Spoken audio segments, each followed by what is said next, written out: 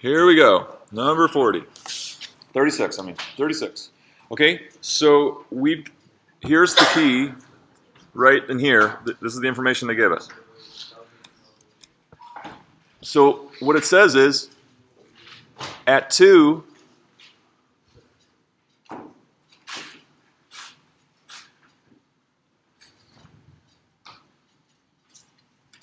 uh, the output is 260.1. When the input is 4, the output is 751.69. We'll start there. So they asked for, based on this, this information, what's the two unit growth factor? What's the two unit growth factor? And so we have to know what a two unit growth factor is first. What does it mean? What does a two unit growth factor mean? Walter. whatever, so, uh, you put seven, seven hundred fifty-one, sixty-nine divided by. Maybe, but I didn't ask for a calculation. I asked for what does the two unit growth factor mean? What is it? You want to try that?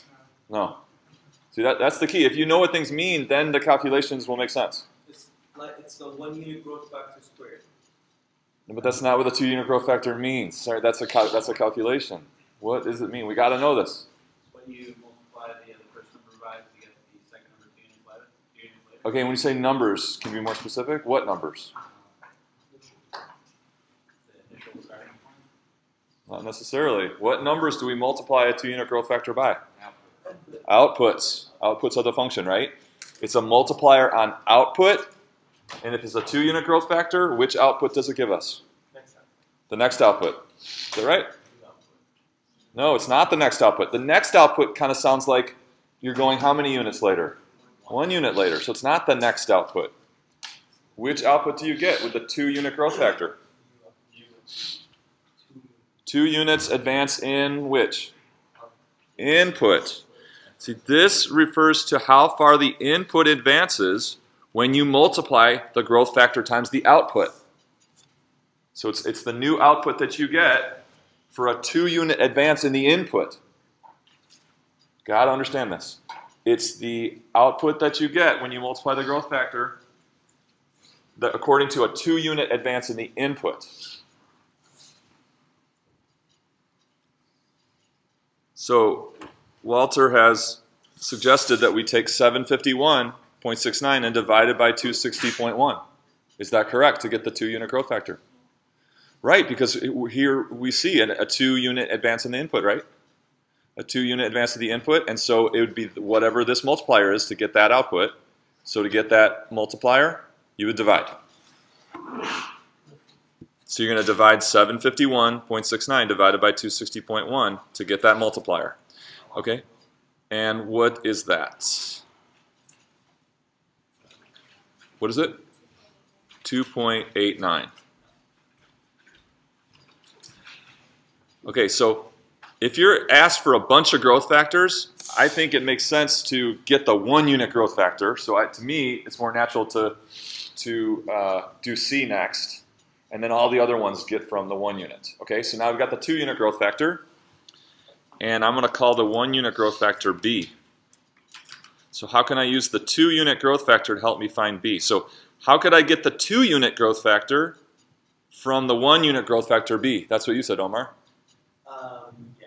Uh, just square root two point one. Oh Right. yeah, sorry. This is the one unit growth factor B. The one unit growth. How can I represent the two unit growth factor using B? The two unit growth factor would be squared. B squared, right? Because to advance two units, you'd multiply by B, and then you'd multiply by B again. That would advance you two units of output. So therefore, B squared equals what? No, it doesn't equal 2. It equals 2.8. It equals the two unit growth factor. One point seven. And you want that to be 1.7. Okay, so that is, put that in red. So the one unit growth factor is 1.7. So let's talk about the half unit growth factor.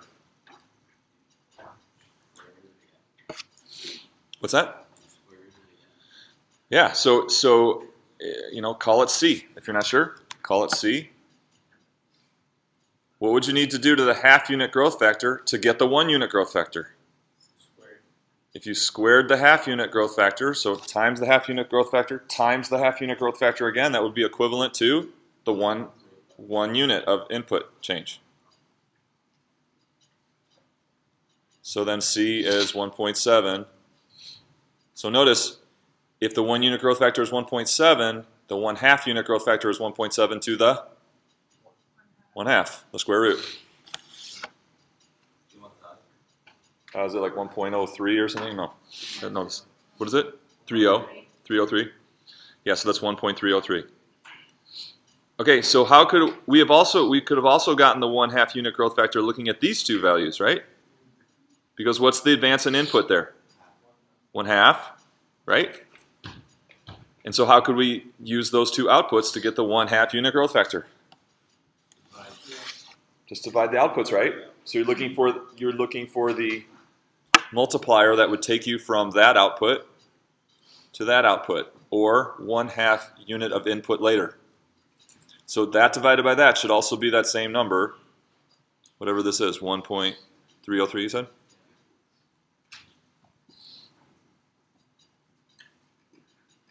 Two point five unit growth factor. So we can start with the one unit. Can you, you use square and a half? So yes, so you just think about how many times would you have to multiply 1.7 together to advance 2.5 units of input? Two at a time. Two and a half times, right? So this is 1.7 to the 2.5. And then what about the 5 unit growth factor? To the power of five one unit, Take the 1 unit growth factor, multiply it together five times. 5 times. What is exponential growth about? Repeated multiplication of the, we talked about the one unit growth factor. So if you want to advance five units ahead to the output that's five units ahead, you're going to multiply by that one unit growth factor five times. That's what this is all about. Okay, initial value. So the initial value, does it correspond to x equals 1 or x equals 0? Make sure you got that. That's a big common mistake. Students want to say x equals 1 is when you get the initial value, but it's 0. So what are the coordinates of that point right there, our initial value? What, comma what? What's the x coordinate? 0. And then what we normally call that number? The initial value a, right? a is our normal, normally what we call a. So we've got at 2 units, or at uh, x equals 2, y equals 260.1. So how can we use our growth factors then to figure out what the initial value is? So how many units are those apart? Two. Therefore, how does the two unit growth factor play into that? So what calculation can we set up if, we, if we've got an output of A and then two units later we have an output of 260.1? What calculation can we set up to, in order to solve for A? Omar. Okay, uh, basically trying to solve, uh, put the function as in uh, p for initial, and then to the growth factor 1.7, and to the power of 2 equals 260.1. And then try to solve for the initial. Okay, so that's a different way of doing it. That's a, that's a valid way to do it. But we can do this without setting up the function. Yeah, come. Just divide the two sixty point one, I mean, two sixty point one divided by two. Okay, so if, if multiplying by the two unit growth factor, what, advances us two units, then what would take us back two units? Dividing, right? So, so yeah, so 260.1, if you divide it by a two unit growth factor, you'll get what? The output two units earlier. Okay, another way to say that see this is, isn't our initial value A times the two unit growth factor, which was what again?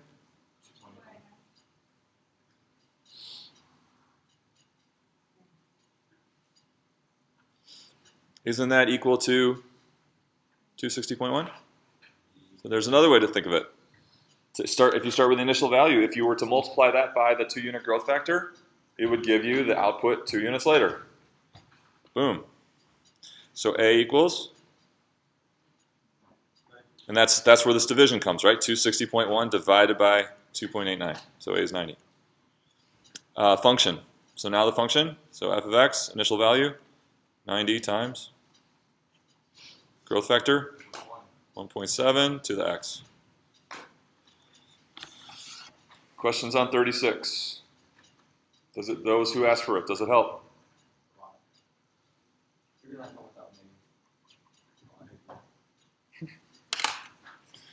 Okay, so the, this this particular homework, not all, you know, but this particular one is, is if you made a good effort and you had professional work, you'll get a high grade. Okay, so um, I know it was kind of it's quick, and you might have had some trouble.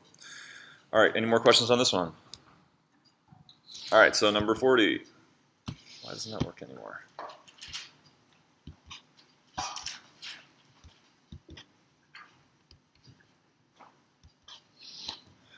Okay, so it's asking us to figure out if it's linear or exponential, and then fill in the blanks and define a function.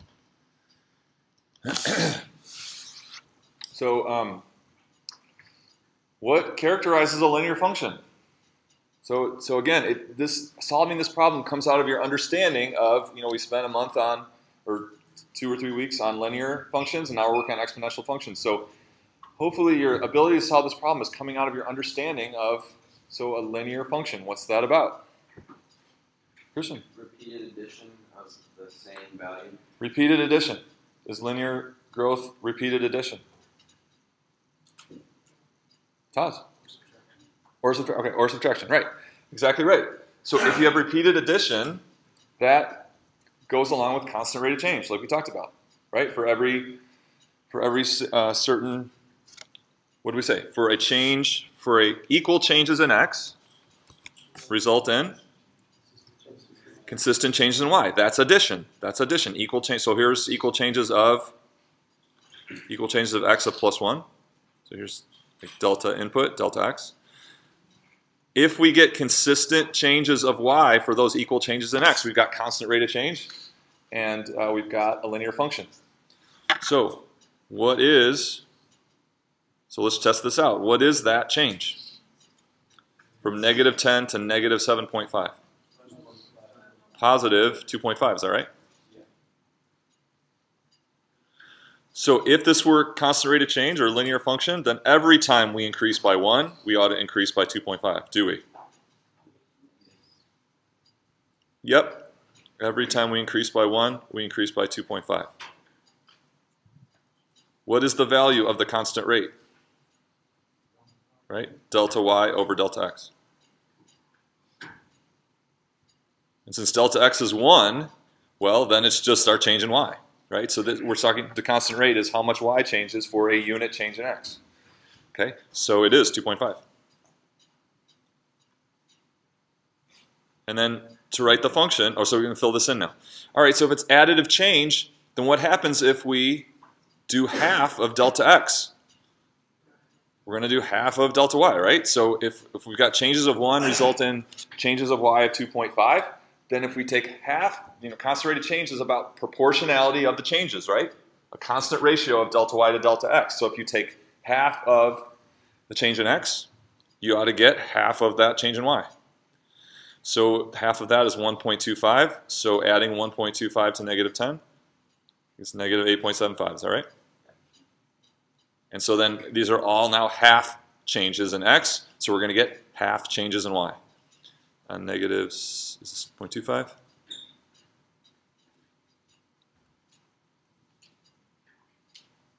Does this make sense?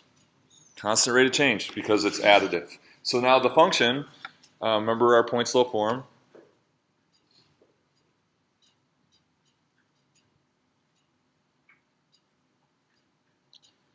we just get to, we just pick any point, pick any point that we know is on our our line, and we've got the constant rate already, 2.5. We got down here, so it's going to be just plug in a point. So 2.5. So yeah, we worked hard in a couple classes to develop this. 2.5 times x minus, just take the first point, negative 2 plus negative 10. Or 2.5 times x plus 2 minus 10. So this is Table 1. y equals 2.5 times x plus 2 minus 10. Questions on table 1? Doesn't make sense. Okay, table 2. So now we've got, again, equal changes in x, but these are by 2 now for the, for the given output. But even so, even so, if it was linear, well, we'd still have an equal change in y, as or a consistent change in y for an equal change in x. Okay, so do we have that? Let's look down here. So what's the increase here? The increase of 2. What's the increase here? 6. Not exponential, or sorry, not linear. Is it exponential? If it's exponential, then what do you, what do we have? Squaring it? 1 squared is 3? No. Careful, don't multiply. It's right. It's, it's about you're not squaring the output. That wouldn't be exponential growth. You have a growth factor. Which growth factor is three? Is three the one unit growth factor? What is it? Two unit growth factor, right? It's the two unit growth factor. So in order to get these values in the table in between, what growth factor do we need? We need the one unit growth factor. So if 3 is the 2 unit growth factor, divide by 2. So you just threw away all the other stuff you learned in the other problems. How do you get, so if the one unit growth factor is b, how can you write the two unit growth factor in terms of b? b squared. And we know the two unit growth factor, it's 3. So b equals 3 to the 1 half. That's our one unit growth factor. Would it be sufficient if uh? Yep. That works too. Yeah, because that's the same as a 1 half exponent. So then to get this output right here, how are we going to get this output? Okay, we're going to need more people involved here. Tim, how are we going to get this output right here? You can, um, multiply by three to the half. Multiply what by 3 to the half? Um, the the output, previous output. I missed, sorry, I missed it. Previous output. Times Three to the half. 3 to the half because that's our, we're going to advance one unit of input. So this is going to be 0.1111 times 3 to the 1 half. And what about right here? Alex, how are we going to get that output right there? You're going from two to three, right? So then you can multiply your output, which is three point nine times three to the one. Right, so the previous output times the one unit growth factor will give you the next output. And this is truly the next output because it's the one unit growth factor. So we could fill that in. And then uh, here we go, we can write the function, initial value. Initial value, is it this one right here? No, it's zero. So that's our initial value, right? So it's going to be 1 times 1 unit growth factor to the x. Okay, which you might see this way. 3 to the 1 half x, so you have to be able to make sense of that. What is 3 in that case? The number 3 represents what? Aaron, what do you think? What does number 3 represent there? In that function?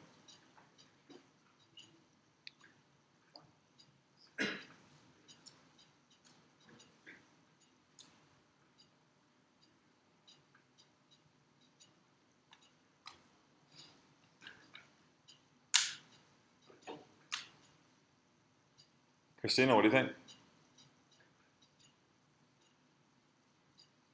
Is that the one unit growth factor? What's that? That's the two unit growth factor, right? So, so x is one unit at a time, so we need to divide um, by one half if we're going to have the two unit growth factor as our base. So either way, so you can do the one unit growth factor to the x or the two unit growth factor to the x over 2. Both give you the same result.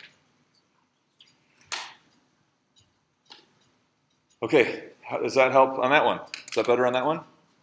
So yeah, so when you hear linear growth, you think, oh, constant rate of change. So we've got all our stuff about constant rate of change, or additive growth on the output, right? Additive growth on the output. When you're exponential growth, exponential growth, it's uh, multiplicative, right? So it's the, each output is multiplied by your growth factor to get another output. Okay, so let's. Where is.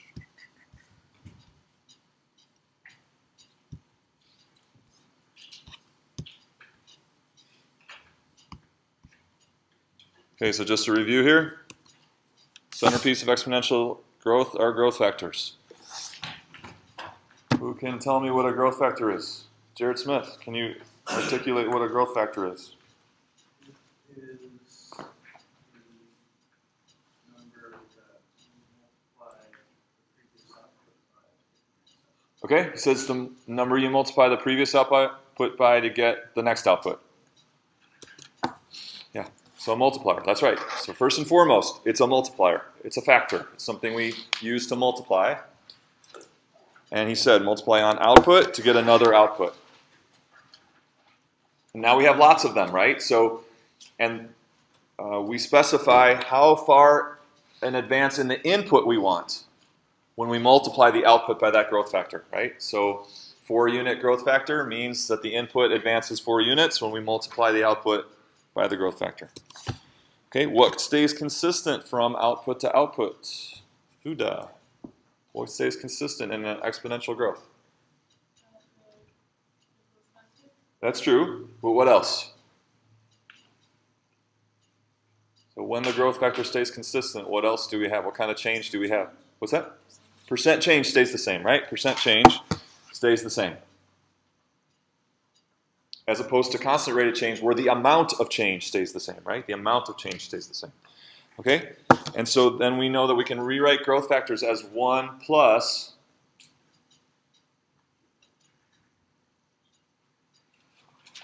um, 1 plus the, that percent change. And that percent change as a decimal. Right? So if the percent change is negative, we know we get a growth factor less than 1. Percent change is positive, we get a growth factor greater than 1.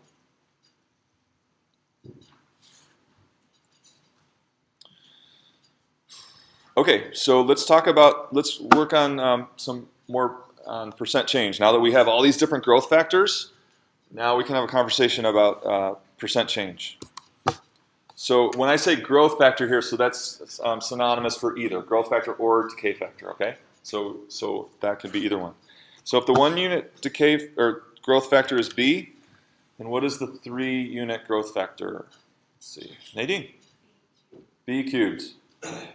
Why is it b cubed? Uh, somebody new. Shola. Why is b cubed the three unit growth factor?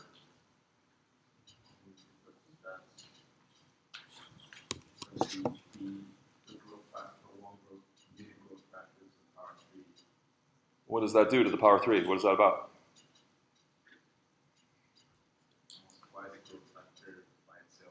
That's it, right? Yeah. And so if we want to advance three units, we're going to multiply by b times b times b, and that'll get us forward three, right? Forward three, exactly. Okay. So what's the 10 and 16 unit growth factors? So easy, right? b to the 10th and b to the 16th. Okay. And now we're talking about partial unit growth factors. Okay. So we can talk about advancing just half of unit of input. And what would we multiply it by in that case? b to the power of a half. We saw a couple examples of that, right? And if we wanted to go a fifth of a unit or an eighth of a unit, b to the 1 eighth, b to the 1 fifth. So the point here is that these growth factors are easily transferable. If you have one, it's very easy to get another because we know how it works, right? So these are very easily transferable directly. All right, from each growth factor, so, so the question is what about percent change? How can we then do, do we have a, a, direct transfer of percent change? So we know we can get the percent change if we have that value of a growth factor. We know we can get percent change from its corresponding growth factor, right?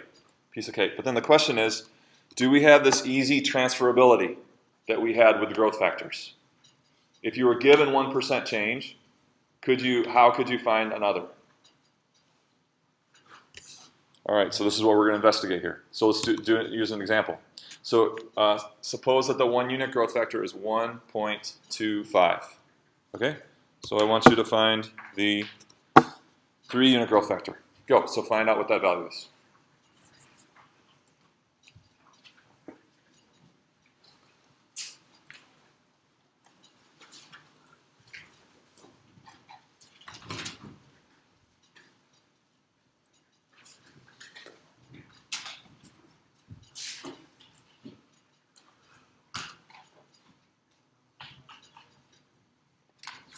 Okay, Brooke.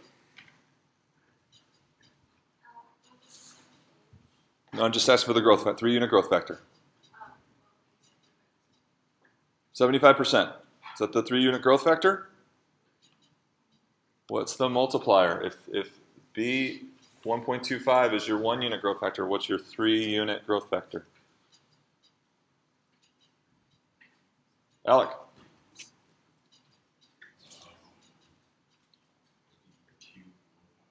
He wants to cube 1.25. Yeah, that's it. And you get 1.95. You get 1.95. Okay, so what's the percent change for one unit?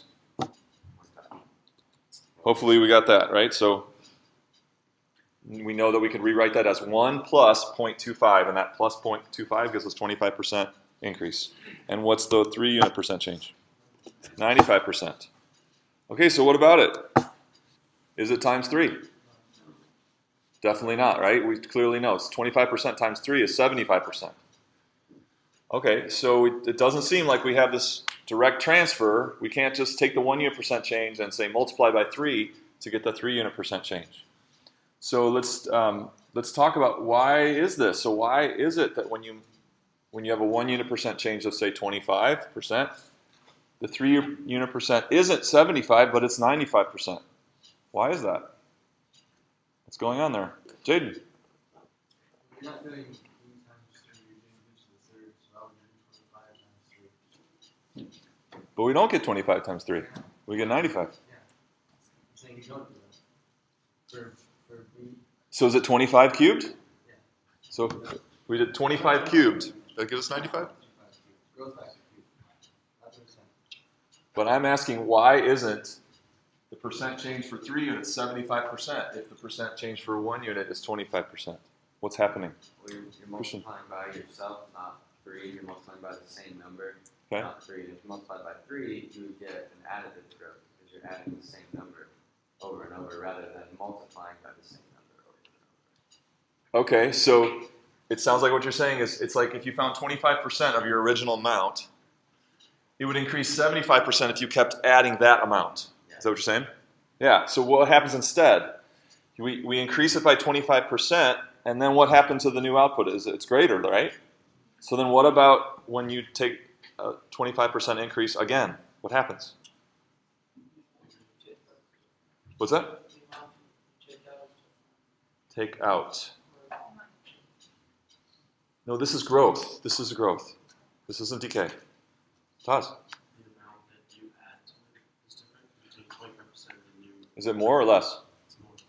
Right, because the second time you multiply by 1.25, you're taking you're you're adding 25% of a bigger number, and so that's going to be a bigger increase. So you get this cumulative effect of always 25% more of larger and larger number, and so cumulative, cumulatively, you um, you will be more than just 75%. Okay, that's an important idea. Okay, so. It looks like percent change, or, and it's true. Percent change is not directly transferable. Okay, we can't, we don't have this quick multiplication or division to get from one percent change to another. But you have a map. You have a map. So, for instance, if the one unit percent change was 2.5 percent, how could we get the 16 unit percent change? Multiply by 16? No, but you have a map. So, what, how, where, how can we follow the map to get there? So we've got the one unit percent change. What will we do? Jonathan, what's that? A multiplier, so we- 1.025. What number is that? 1.025. For the, the growth That's the one unit growth factor. So you can find the one unit growth factor, and then what? And then you're gonna raise it to, what, uh, to, to cubic, To the what? uh, cubic, uh, you think of one point two, one point zero two five, so you can raise it, the what?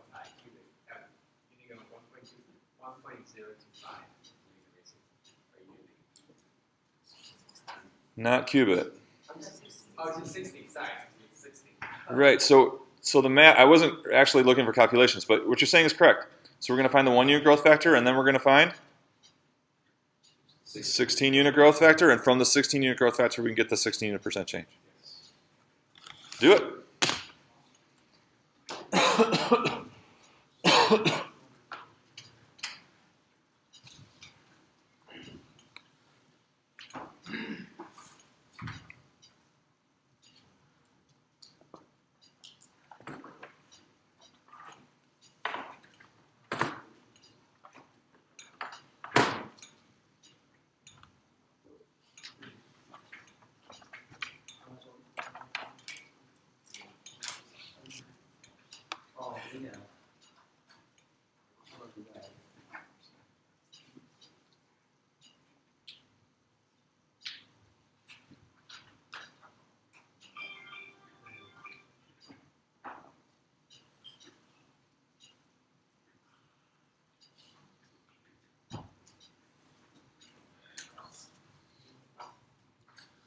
Okay, who's up? Let's see. Who wants to do it? Go for it. Okay, so I always want the process, not the final answer. Which is good. Power sixteen, Power of 16, which gives you the which gives you the growth factor, the sixteen. yep. Which is one point four eight four. So that's forty-eight point five percent. Agree with what you did? Does it make sense? Okay, so it's all about so getting from one percent change to another is about using growth factors. You have to use growth factors. Yeah, Alex. Um, what if you start say at the three unit, uh, percent change, and then you wanna find the three unit growth factor? Oh yeah, I got lots like that too. Wait, if, if you have the three unit percent change, you want the three unit growth factor? Yeah, would you, instead of having that one half of three, add it to your percent change, or would you still be a one plus like your percent change as a decimal? Okay, so um, so let's let's just do another example. Any more questions? It'll we'll see something like that. So any more questions on this example? Okay, so here's another one. There you go. If the three unit percent change is 79%, what's the one half unit percent change? So what is this saying? It's saying that if you advance the input three units, the output will increase by 79%. So what will you need to multiply an output by to get the output three units later? There's nothing different. But what I'm asking is that one remains there, put the one in front of your, uh, percent change? Oh, Yeah, did you forget we did this at the beginning of the, the module, right? So how do we get from percent change No, to yeah, no, I, I get that whole part, what I'm asking is that if it's, would still be one plus point seven nine. Or, just or you would have. Just- just- it just look here here. 79% is the percent change. What's the growth factor? It's the same thing. Okay, so you keep that one, it, it's irrelevant. If 79% is the percent change, then what's the corresponding growth factor? Oh, Does that help? yeah, yeah. Yeah. So what's the roadmap? Just what's the roadmap? Patrick, tell me the roadmap on this one. Uh, first you find the growth factor. Good. Right? Which is one point seven nine. Or you want to do it too? Okay, great. And then you would, ta- well, I did it in two steps, but I found the one unit. Oh, I think that's great. That's what I was going to suggest. Good. Okay. How'd you get that? And then- So you did one point seven nine to the one third power, Good. and that gave you one point two one. Okay. And then you took that value, raised it to the one half power. So we take the one unit growth factor, which is 1.79 to the one third, and raise it to the one half. And now let's get that. Let's get that value. What is that? That one was one point one zero two. Okay. And Then the percentage would be ten point two and?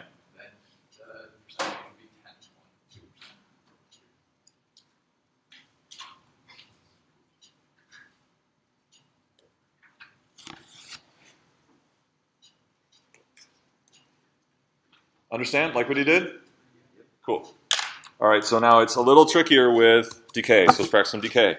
So if the one-fifth unit percent change is negative 1.8%, what's the 10 unit percent change? So here's a decay problem. It's a little, there's a little more to this, okay? We've got to really know what are, how to get these decay factors and what they mean, okay?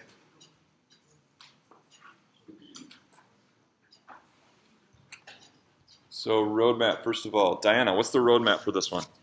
Not any calculations, just a roadmap. Which now? Okay, so like this, that's going off road. So what do you need to do before that? So you're saying from the one, right, and then you get the one unit, okay, and then we're done.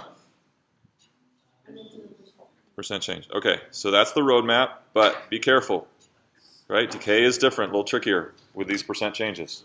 See how you do.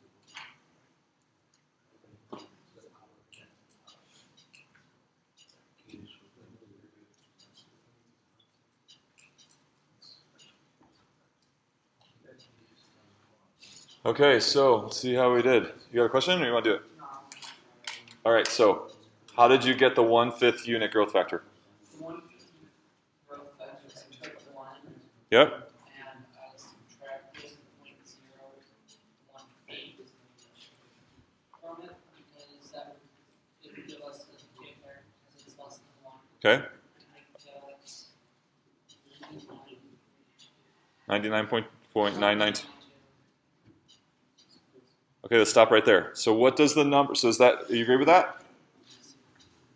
Ninety, so ninety-eight. Ninety-eight point two. Yeah, ninety-eight point. Is that better? All right. So what does that number mean?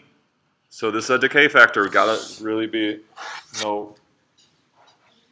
So it's kind of like we got two percent floating around with decay, right? It's like it's like this this percent change, but then there's this ninety-eight point two. So what does that decay factor mean, Brian? What's the meaning of that number? That's like how much you have left of the uh, number you're. Yeah, right. So you multiply this by the output, and the new output, that will be the new output. So it's what you retain or what you still have, right? It's what you keep, how much you keep. Okay, so Hamid, take it from there. So we got the, the fifth unit growth factor.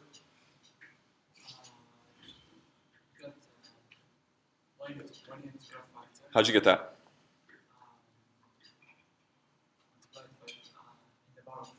the power five, right? One fifth, we need we need to advance five one fifths, right? Five one fifths gets us to one unit, okay? And then, um, I'll find the number and then, um, then in the power of ten, You want to take this to the power 10. Agree with that, everybody? So that's our one unit growth factor. So now we need the 10 unit, okay? Didn't find the ten units, percent. And did you get, so did you get a number? What'd you get? What number? I didn't calculate. Anybody? I got forty. 403. Four zero eight. 403. So now, what does that number mean? Every 10 units, 0.403 means that? 40.3%. He's saying, he said we keep 40.3%. Agree? That's what the decay factor is. It's the portion you keep, right? Okay, so then what's the 10-year percent change? It's going to be what we lose. So you take 1 minus that, or rewrite this as 0.403 equals 1 plus p. And that will be our percent change. And so you got negative 0.597. Is that right? So the percent change is negative 59.7%. Question? Could you have done one fifth percent change, or sorry, growth factor to? Yep. It just it's always nice in a situation to get that one unit because that's that's the easiest to transfer from. But he what he asked was could you do 0.982 to the 50th? Yeah, because there's 50 one fifths in 10, right? So to get to if you wanted to get 10 units advanced and you knew how what one fifth was, you'd do 50 of those, right? 50 one fifths would get you 10. Okay, another decay example. Good on this one? Okay, here's the last one. So if the one half unit percent change is negative 34, how much is the one eighth percent change? So you can take, you can uh, include the one unit decay factor on your stop, on your journey, or not. If you if you feel confident that you don't have to, that's okay. I always prefer to find the one unit along the way. So this would be my route. But if you want to go straight from the one half to the one eighth, if you're confident, you can do that.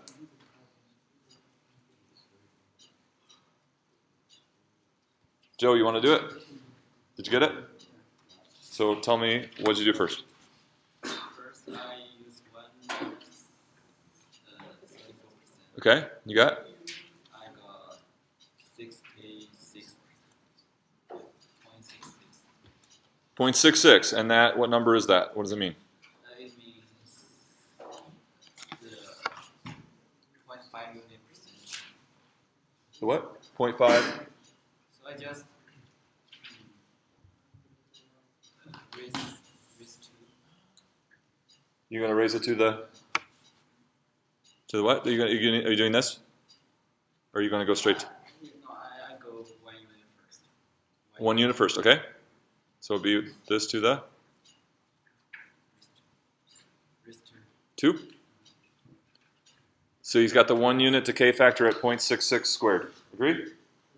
And then? And then I raise this whole part by 8? Or 1 8? No, no, one, One eight. over. Okay, and what we get? What number do we get for that?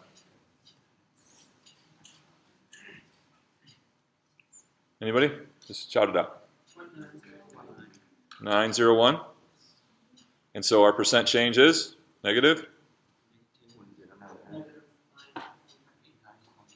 nine point eight nine percent.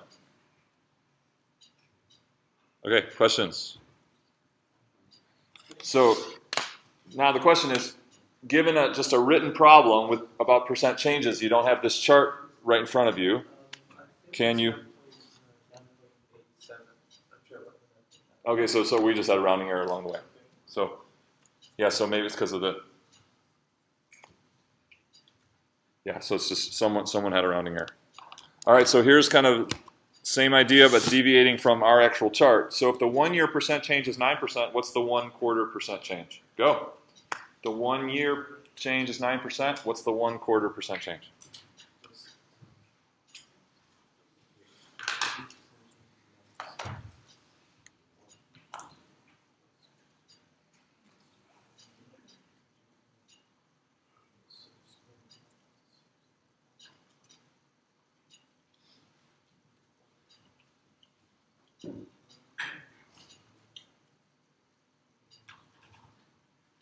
Corey, did you get this one? Still doing it.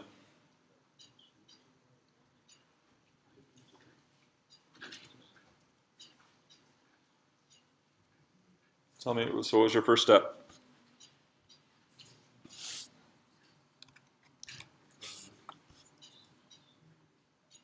Yeah. Good. One year growth factor is 1.09. And then? Good, which is Square it to get the one quarter. So that's one quarter of a year. One fourth. And what do we get for that? 1.0? 225? I got two one One seven. 21218, is it? Yeah.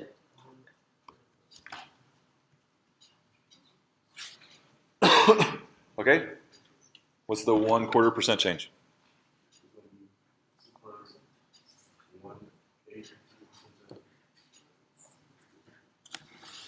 Same thing, right? So you're going to find use growth factors to make the transfer and just know how to get percent change from a growth factor. Questions on this one? Okay, we're going to use that value later. So remember, and I'll remind you, okay? So one more. What about the one month? Okay, so if the one year percent change is 9%, what's the one month percent change?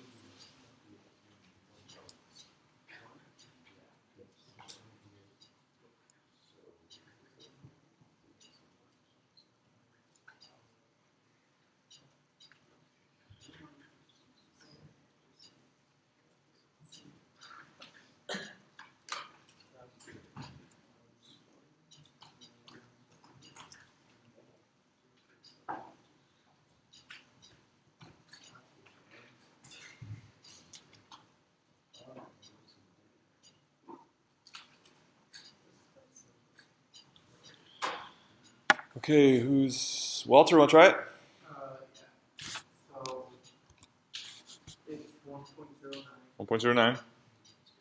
and to the power of one. And just stop right there. Tell me what that is. What is that? Would you just? What is that right there? Is it a percentage? It's a growth. What is that right there, Jared? That's Jared.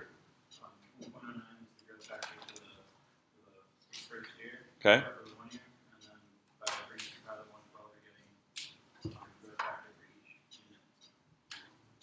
For each month. The one month, right? The one month growth factor. And what do we get? 1.007 two percent change. Or what? What is the percent change? Point seven two. 0.72 percent. That's a percent, not a decimal. 0.72, less than one percent. Okay. So same thing. Change your percent change to the to the right growth factor or decay factor, and then transfer by through the decay factors, growth factors, get the corresponding percent change. All right. So now this gives us sets us up to talk about something called APR, annual percentage rate, which is a bit confusing. Okay, because it's different. It's different than what we just did. Okay, so here, here's here's the thing that'll, that'll be hard to um, hard to absorb. So try, try really hard. It's often used with loans and investments. It's not the one year percent change. It's called the annual percentage rate. So it sure sounds like the one year percent change, but it's not. It's not the one year percent change. Many of you will try to make it the one year percent change, but it is not the one year percent change. Okay, so you hear this like with loans, like car loans, 1.99 APR, right? 1.99 APR. Or with an investment, okay? So let's investigate. What then, if it's not the one year percent change, what is it? Okay, so we just did this, right? If the one year percent change is 9%, then the one quarter percent change is 2.18. That's what we got, right? So now, if you had an APR of 9% with what we call quarterly compounding, then the one quarter percent change is 9 divided by 4. This is exactly what we said not to do, right? You- so you're taking this percent, this whatever this means, this this APR, and to get the quarter percent rate, you do divide by 4. You chop it up into four equal amounts. So this this for this first step when you're dealing with APR, you you you break the rules. You break all these principles that we were just talking about. Okay, so practice. So if the one year percent change is nine percent, we got that the one month was 0.72, right? So now find if the APR is nine percent, find the one month percent change. If the APR is nine percent with monthly compounding.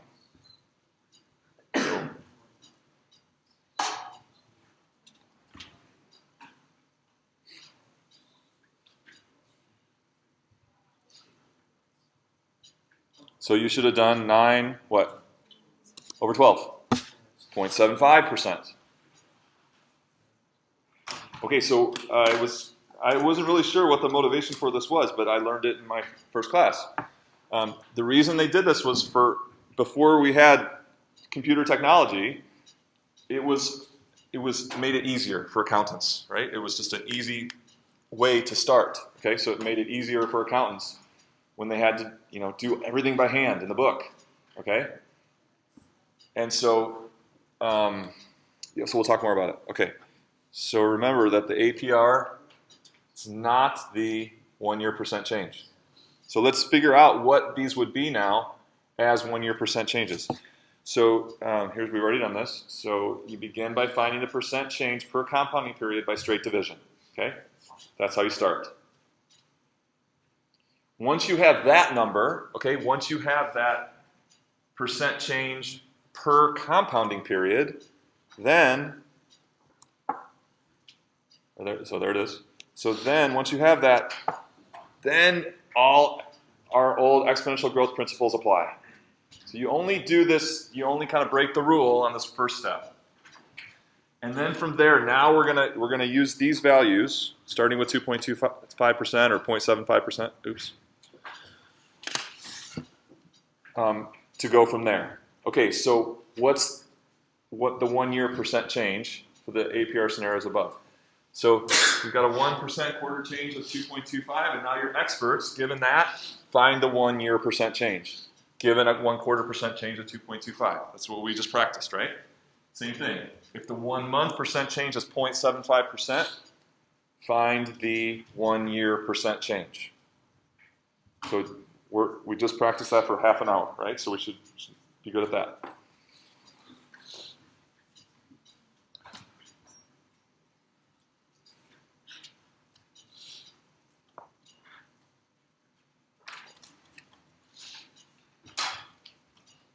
Okay, so we got a one quarter percent change of 2.25%, and we want to find the one year percent change. How do we do it? Anna.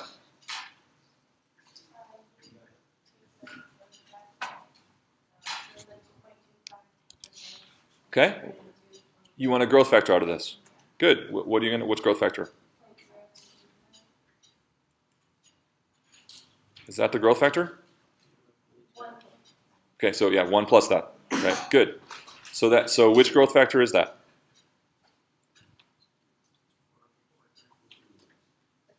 Quarterly growth factor. Keep going.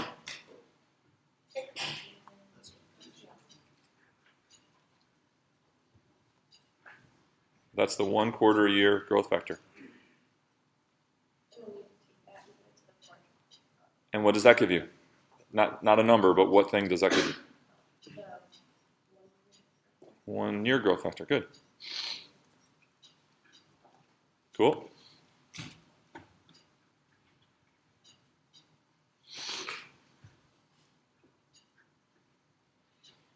And then?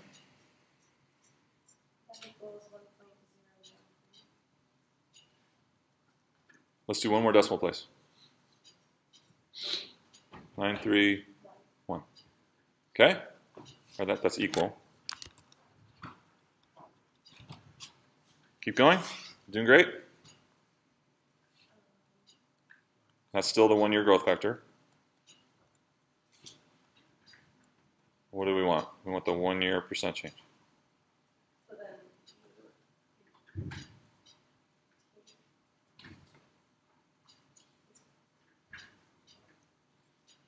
So how do we get the percent change from that?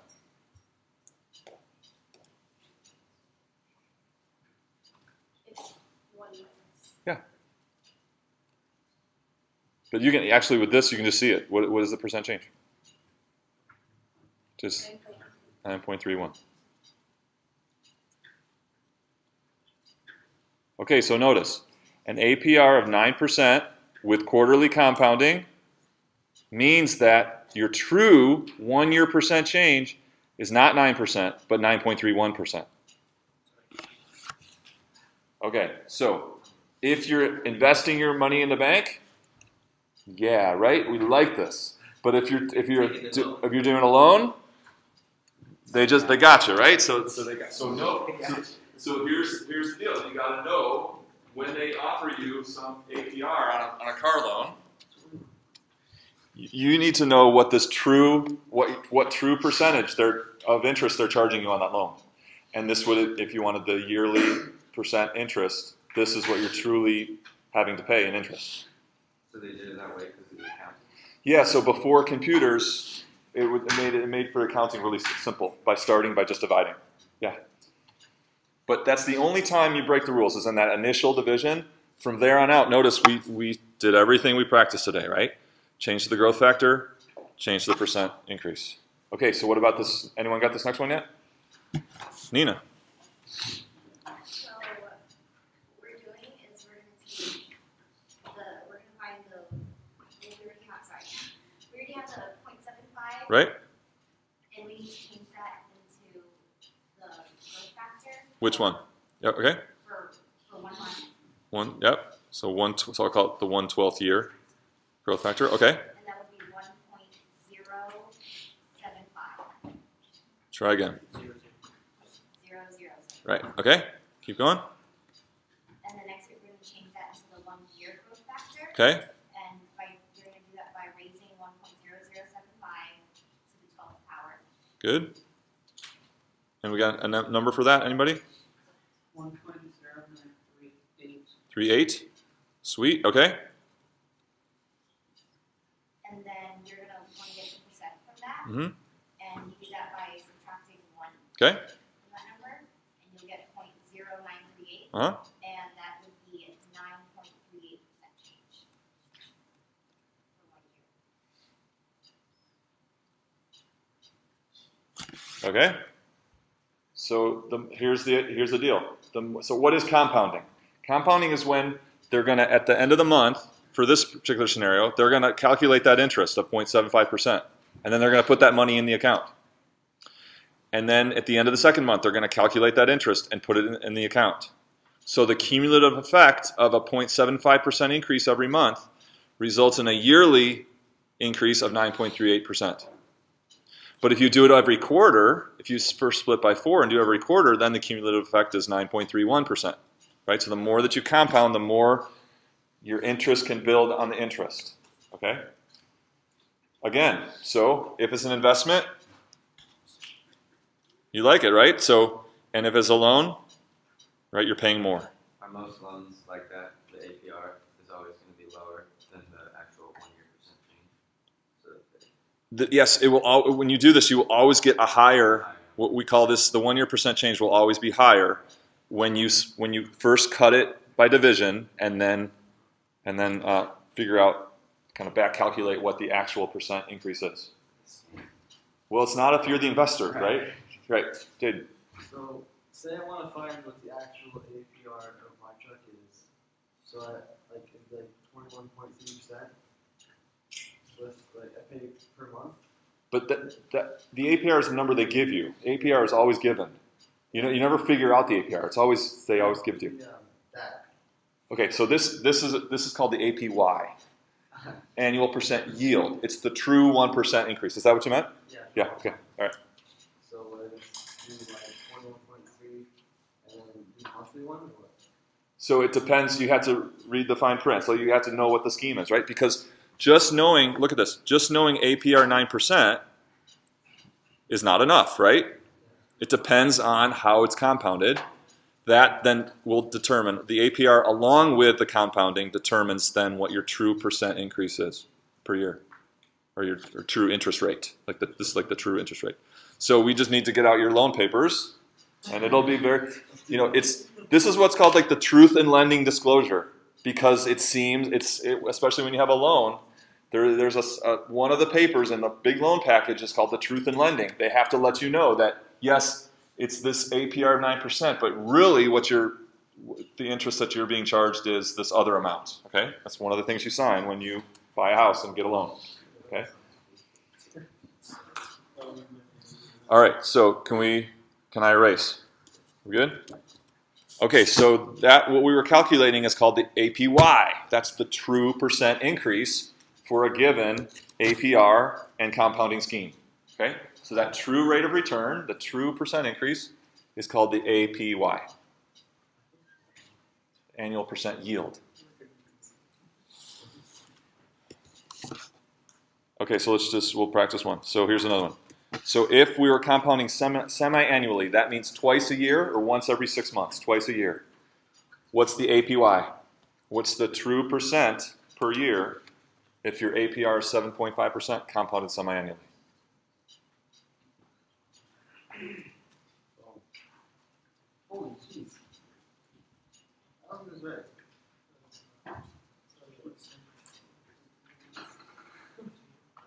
So what's the first step? What do we need first? Who's paying attention? Morgan, do you know what we do first?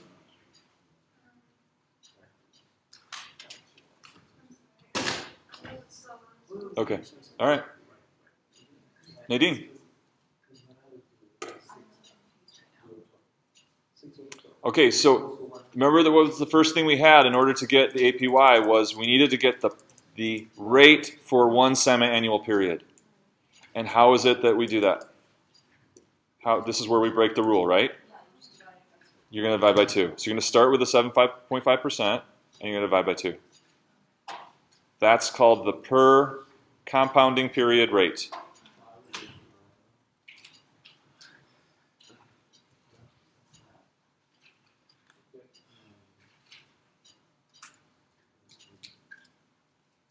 And so what is that rate as a decimal? Let's do it as a decimal. What is it? Okay, and so as a decimal? Yeah, let's just, let's try that. 3.75. Okay. 3.75%. So now we've got the per semi-annual rate, and now we follow the rules, right? We, we, we follow our principles of exponential growth. So what do we do first? Growth factor, which is? And then?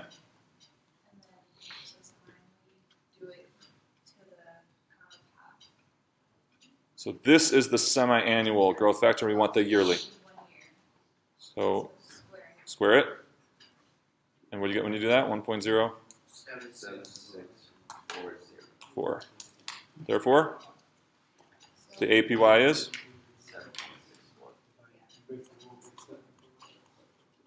So 7.5% compounded semi-annually is the same as a true percent year yearly yield of 7.64%.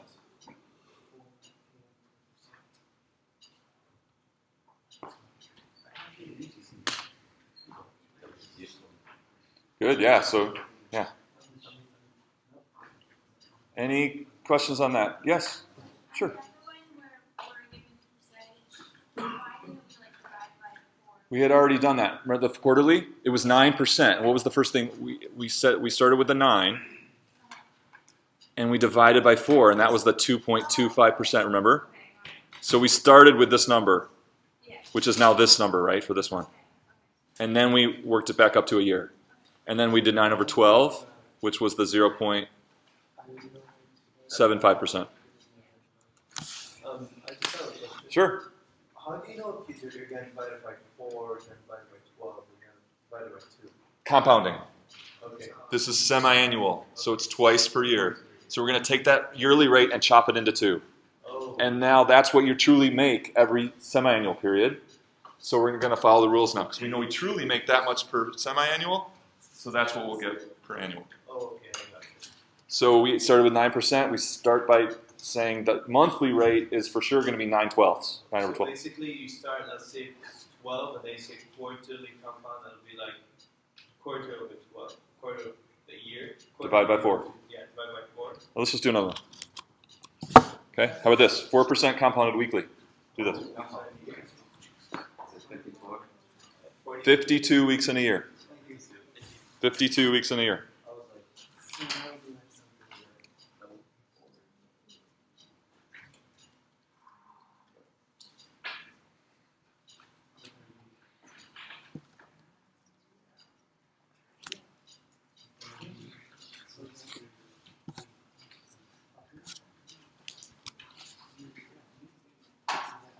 So what's the weekly rate? That's what we start with, weekly rate.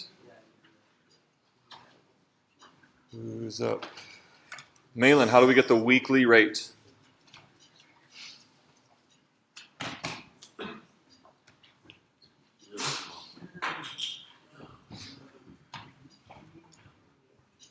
Do you know?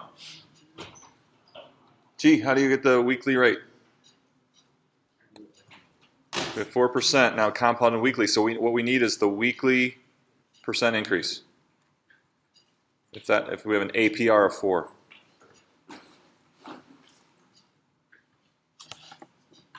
Any idea? Con?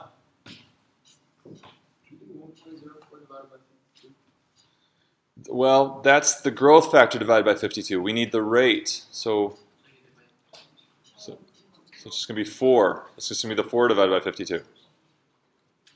And what do you get for that? Point zero seven six nine. 0, 7, 7.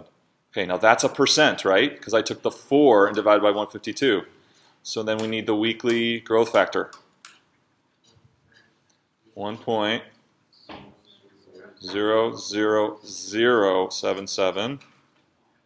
And then, so that's the weekly growth factor. We need the annual growth factor.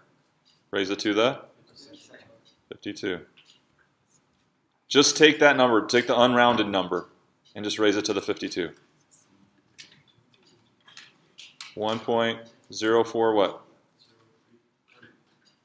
It better be bigger than 4. It's got to be bigger than 4%. So 1.04, 08. So percent increase is the APY? So you know you did it wrong, your APY is less. Yes. The APY will always be greater than the APR.